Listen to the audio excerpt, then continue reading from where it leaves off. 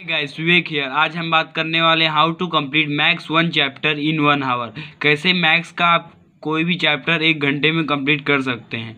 आज मैं आपको चार ऐसे स्टेप बताऊँगा जिसको फॉलो करते ही आपका मैक्स का फटाफट सिलेबस कवर हो जाएगा। आपको मैक्स में हंड्रेड आउट ऑफ़ हंड्रेड मिलने मार्क्स मिलने के भी चांस रहेंगे।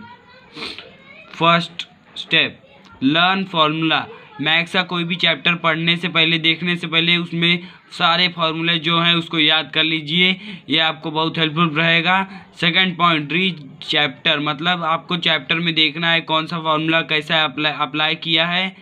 और आपको जो सारे मतलब टर्म्स समझने होंगे, उसके टर्म्स फार्मूला उसके जो रिप्रेजेंटेशन रहेंगे, वो सब आप समझ लीजिए। Third point learn application of formula मतलब आपको फार्मूला तो आप पता चल गया है और आपने देख भी लिया है कैसा चैप्टर में क्या क्या बताया है तो उस फार्मूला को अप्लाई करके कैसे आप क्वेश्चंस को सॉल्व कर सकते हैं, उसको देखिए।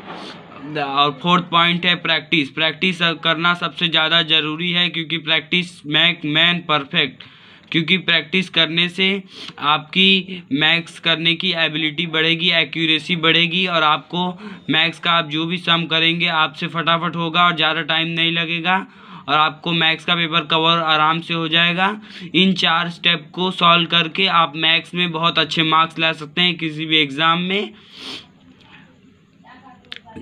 Thanks for watching this video मिलेंगे अगली वीडियो में।